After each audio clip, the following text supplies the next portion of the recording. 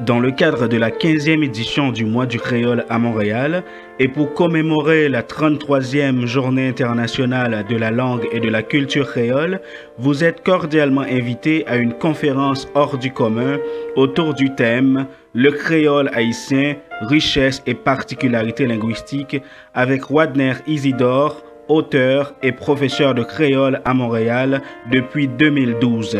Cette conférence se tiendra le vendredi 21 octobre 2016 de 18h à 20h à la salle multifonctionnelle du Centre interculturel L'Auditoire de Radio Centre-Ville, 6 au 5214 Boulevard Saint-Laurent, Montréal, Québec. Dans cette occasion a lieu la vente signature du petit lexique du créole haïtien dans lequel se trouvent des notions essentielles, des vocabulaires, des expressions idiomatiques et des bons à savoir sur la culture haïtienne. Le prix du livre est de 20 dollars.